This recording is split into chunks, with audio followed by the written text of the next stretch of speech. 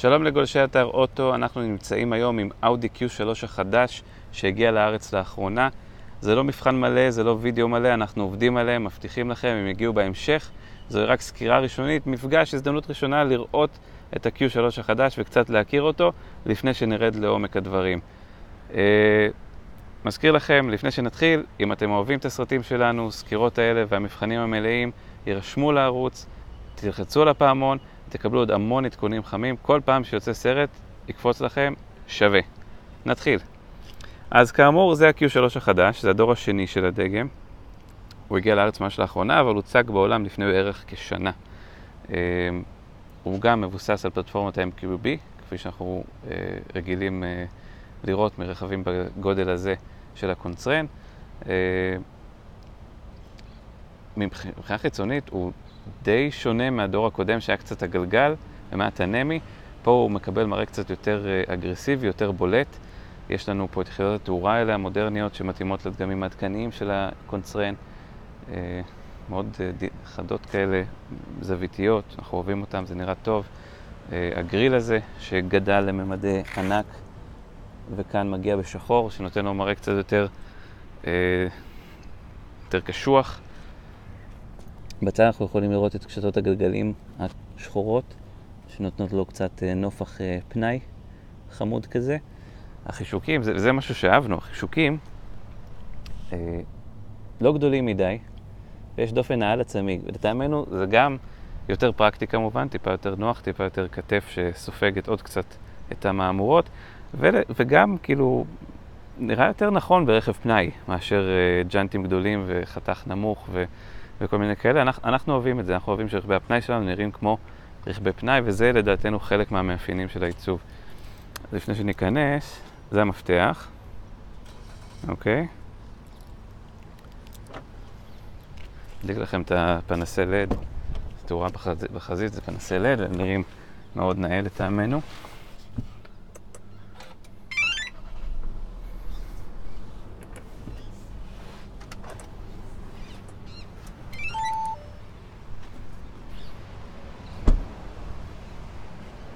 רואים תאורת לד יפה. שמוסיפה במיוחד בלילה לעיצוב של הרכב, לטעמנו מאוד מוצלח. נמשיך לדבר קצת על העיצוב, אתם רואים את הקווים האלה שממשיכים פה לאורך המרכב, ואז הופכת להיות תפיחה משמעותית מאחור, שמוסיפה לו יציבה רחבה כזו דינמית, במיוחד במבט מהצד או מאחור.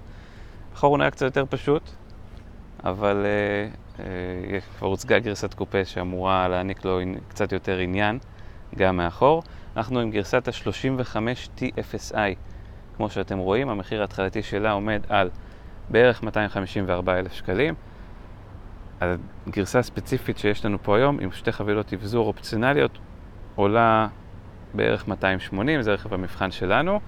מה שזה נותן בין היתר, זה דלת המטען שנפתחת חשמלית.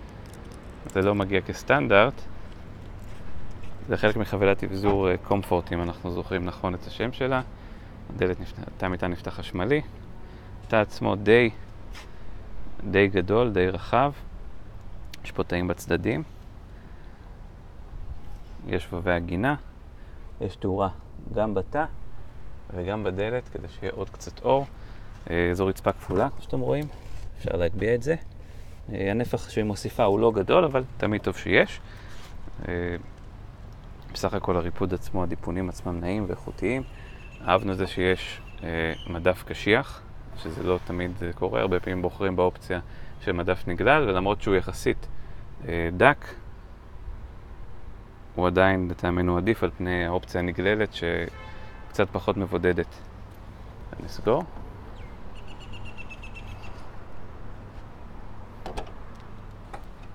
ונלך למושב האחורי.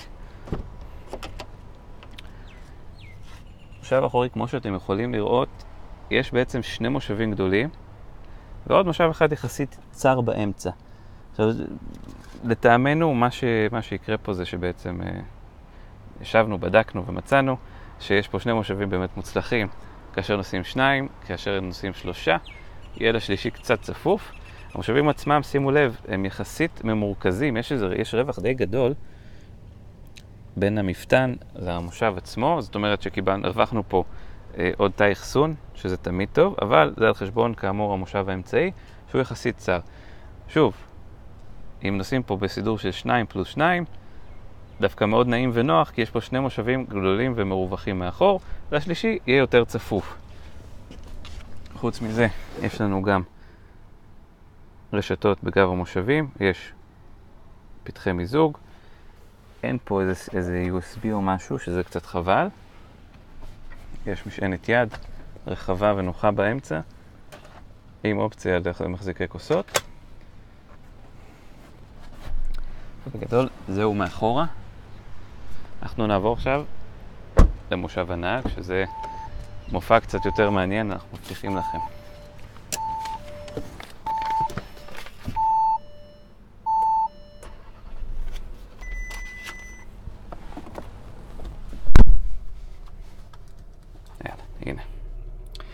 שאתם רואים, יש לוח מכוונים דיגיטלי, שזה משהו שאנחנו כבר התרגלנו לראות בדגמים של הקונצרן. הוא נראה טוב אה, ותמיד מוסיף לאווירה. אז זה נראה מודרני, אז אה, הוא משתנה, הוא זז, הגרפיקה שלו יפה ואיכותית, ואנחנו אוהבים את זה מאוד. אה, באאודי הלכו פה על סידור דומה לדגמי האודי הגדולים A8, A6, של לוח מכוונים דיגיטלי מלא, למרות שפה הוא שוב יחסית קטן. אה, ופחות מרשים מהגודל המלא של הדגמים הגדולים, אבל האוטו עצמו יחסית קטן, אז זה הגיוני. עם מסך מולטימדיה יפה שמשולב פה בפאנל הזה בשחור פיאנו, אה, מאוד מאוד מרשים, גם הגרפיקה עצמה אה, נאה והרזולוציה טובה. הוא קצת יותר איטי ממה שאנחנו רגילים מדגמים אחרים של הקונצרן.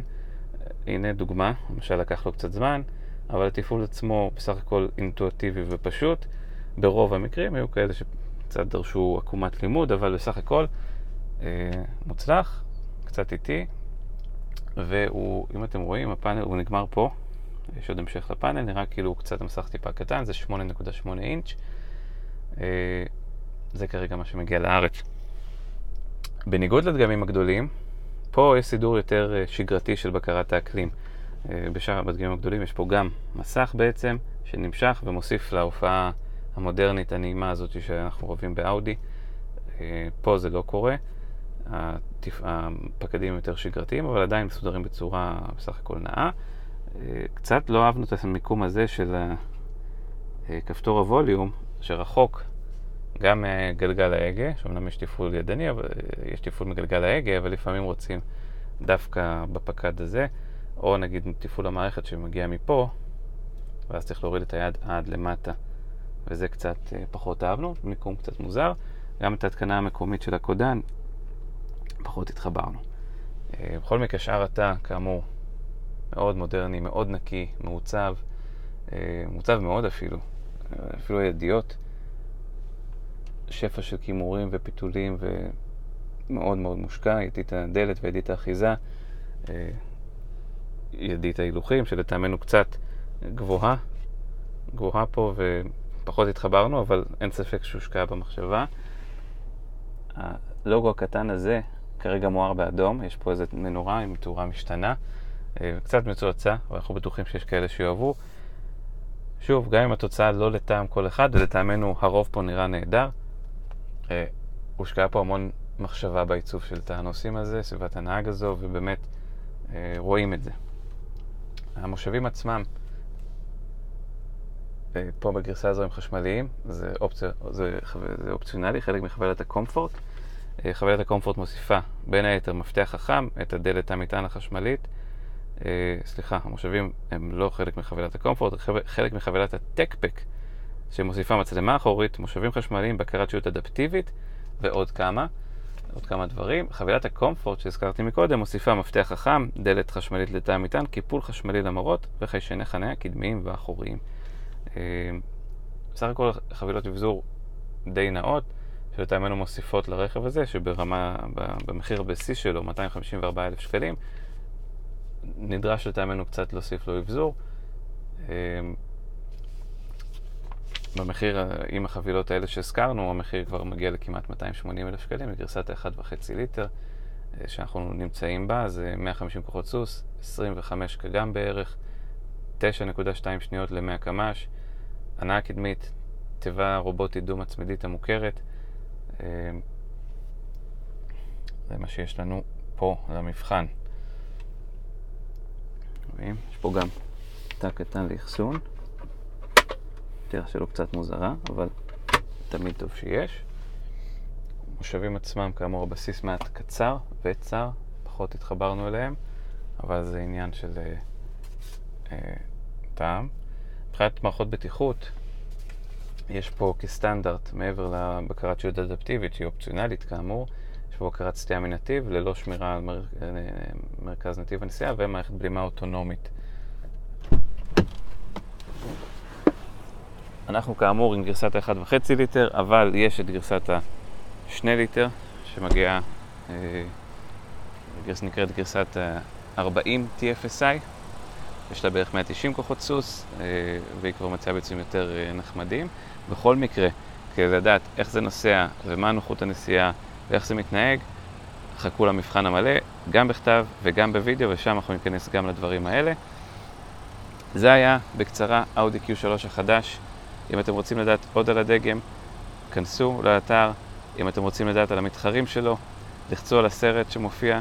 ואם אתם אוהבים את הסרטים שלנו ורוצים לראות עוד כאלה ועוד סרטים מלאים, יירשמו לערוץ, לחצו על הפעמון ותקבלו עדכון בכל פעם שיוצא סרט חדש. תאמינו לנו, זה שווה. תודה שהייתם איתנו.